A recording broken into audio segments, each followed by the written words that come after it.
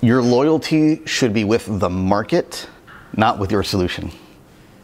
Okay, your loyalty should be with the market, not with your solution. I had somebody ask me yesterday, a client, they said, um, the offer that we package here, nobody seems to want it. Uh, how do I find another client or a market that wants it? And I said, that's the wrong question. Don't try to change the market. Don't try to find another market. Change your solution to suit the needs of the market that you want to work with. Way too many consultants, service providers, business owners, CEOs fall in love with what they're selling. They fall in love with their solution. What that does is that puts blinders on.